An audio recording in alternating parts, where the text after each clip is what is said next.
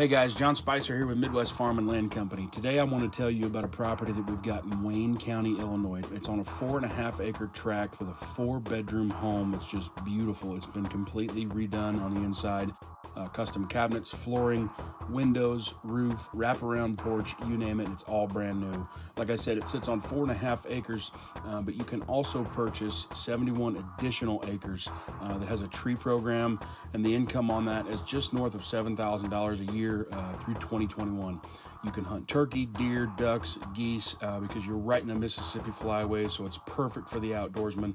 Um, there's RV hookups on the property with a private entrance as well. There's just there's so much to this place. You really got to come and check it out.